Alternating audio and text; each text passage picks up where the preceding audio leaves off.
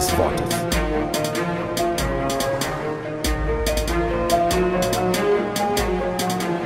Die Macht des Wortes. Wir wollen ein Volk sein.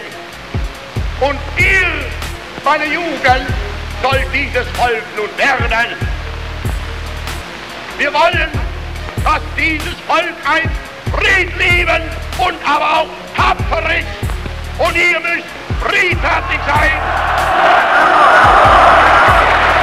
Macht des Wortes. Hitler hat das ganze Land mit Worten manipuliert und das deutsche Volk hat an allen Orten kapituliert. Denn Worte sorgen für mehr Sorgen und für mehr Freude.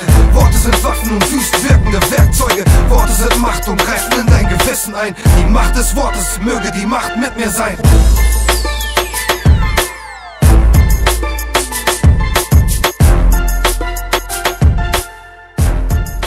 Die Macht des Wortes.